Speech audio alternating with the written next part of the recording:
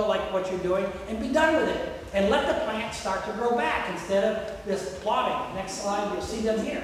Here's crude oil up in the vegetation. Here they are with a rake, slowly trying to, trying to pull the oil away from the plants. Scrape it up, be done with it quickly, and let the plants regrow. Again, I, I don't, next, next slide. Um, Fort Morgan, that slide doesn't show up real well, I'm sorry, but the difference in color, um, as you look down towards the east of Fort Morgan, that is oil at the mouth of, the mouth of the bay. The energy of the bay was great enough to not allow the oil to come in. And then, uh, the next slide, July 23rd slide, that's oil right off the shoreline of Horn Island, and that was July 23rd. Um, this is a pet peeve of mine. I've been fighting the Department of Conservation. Uh, Barnett Lawley and I are really good friends. He's the commissioner, but we have a problem. He and I have a, uh, a, a disagreement over the use of rocks to close Katrina Cut. We know historically that when you use hard subs, rocks are hard, right? Concrete is hard. A, this wall is hard. Anytime in a high energy environment that you use a hard substrate, you cause additional erosion. When they finished it, this has got the engineer from Thompson Engineering, who got the contract to do the engineering, so it's a great job. Um, the, the next hurricane, I mark my words, the next hurricane that enters the Gulf, both sides, if the rocks are even there, there'll be a miracle, and both sides of the rocks are going to, now we're going to have two cuts a cut on each side of the rock. And I'm not just saying this. There, I mean, there are well-documented uh, people that have studied hard substrate in a high-energy environment. We just don't seem to learn. I passed on all of these journals, all of these articles. $17 million project. And listen, there's no oil. Aren't they supposed to take this back out in 2011? Oh, yes, that's the, yeah, but the, the way the contract with the Corps reads, the Corps says you have a one-year permit and the rocks will be removed, but you can apply for a conti- a continuation. Um, it- But, but the, the main point is, the rocks are there to stop the oil from coming in. There's no oil. I mean, listen to NOAA. Seventy-five percent of the oil's gone. What are we worried about? Seventeen million dollars could be spent better somewhere else. How about the poor fishermen that haven't caught a fish since May? Why not give them the money? All right, put it out in those communities. Next slide, please. And uh,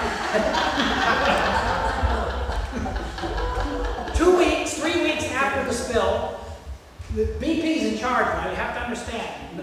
Nobody in our government's in charge. And that's because there was a law in 1992 that was passed that, and it was a good law for you and I in the concept. That law made the company that did the damage, whether it's on land, on a river system, or out in the ocean, the company that did the damage is liable and must take all actions to correct it. Well, that meant that they're in charge. They're in charge of the media, they're in charge of hiring, they're in charge of how it's going to be done, they're in charge of who's going to pick it up, when it's going to be put. And the Thad Allen, he might be a. The, the, uh, the um, Coast Guard Admiral has been at my lab three times. Uh, I guess when you're at that rank, you know, you're, you're pretty pious, and he comes across that way.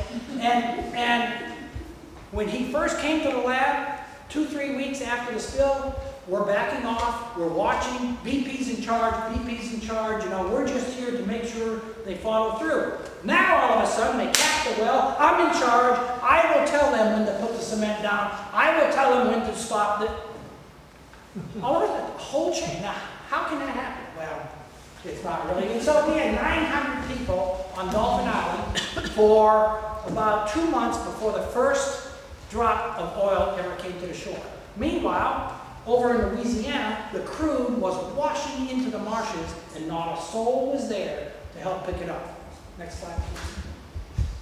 And then uh, somebody photoshopped this, obviously, you know, the health warnings. Uh, the problem, the problem is, as you well know, if you're a coastal environment that depends on tourism, uh, it doesn't work. Next slide. And this is a real slide. This is uh, down on, this is on our beach on Dauphin Island, And, and it's ridiculous.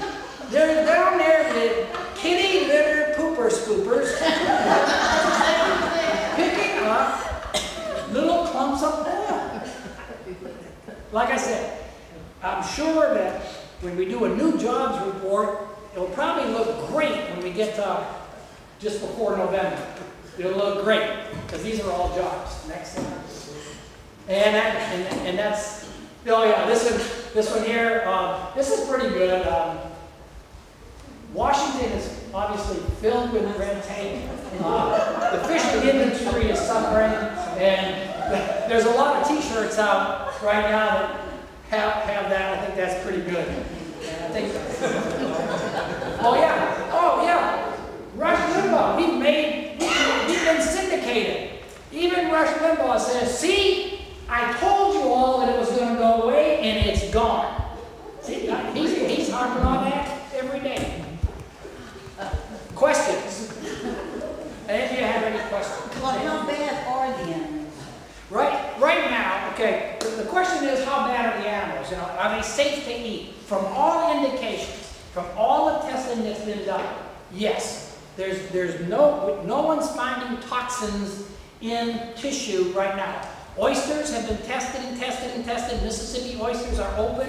They're, they're for sale now. Louisiana has now opened up not only its inshore waters, it's opened up its state waters offshore for all types of harvesting. Our waters inshore are open for shrimp. Very shortly, probably within a week, the offshore state waters will be open. Um, it hasn't shown up yet, but you have to understand, Bio, it's called bioacute. Toxins accumulate into tissue over long periods of time, not short periods. If these organisms are ingesting organisms that have oil in them, it has to go through the physiology of the body and the biochemistry of the body. It's ingested, it's into the stomach, it goes into the bloodstream, it goes into the liver, it's sequestered in the liver. At some point in time, it may come out of the liver, go back in the bloodstream, and then end up in, in muscle tissue. But it's not there right now. The test will continue. The test will continue and continue and continue to make sure that Gulf seafood is safe. Here's the problem.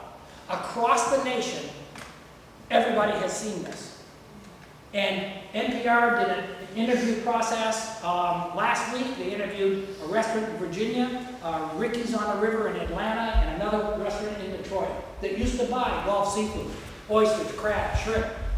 You asked the, the proprietor of the restaurant, you serve Gulf seafood? Absolutely not. No, absolutely not. So the perception is our Gulf seafood is contaminated. How long do you think it's going to take to get that stigma gone? And these, and, and look, fishermen, coastal fishermen live hand to mouth. They love their job, they love the water, they love their environment, they never get rich, but that's not why they do it. They love getting up and going out in the morning and setting their crab traps, bringing them back, processing them for us. It, it, it, and they never get rich. They haven't been able to work since May. And if no one's buying, we're going to lose them. They'll be gone. Generations, families, gone that used to, used to shrink. Well, my question really was, have we lost species? No, ma'am. Not yet. Not yet. But again, that's not going to happen immediately. I mean, that, those are things, and that's why we're here. I mean, that's why we've been here, and that's what we'll do into the future. Yes, sir. Am I correct, I heard you say that the total spill of oil into the Gulf of Mexico was five thousand barrels? 5,000 barrels, 250 million gallons is what they're, that's what they're, that's what's estimated. 5,000 barrels of oil Per day? Today. per day, Per day? per day, per day. Oh, oh, per day. Per day. And, and that's what, that's where this, this, this it's gone issue is so hard to, to believe. Yes, ma'am. I haven't heard a report on public radio, not that they tell you the truth all the time either, Right. but uh, that they have, scientists have discovered some organisms that eat oil. Yes, ma'am.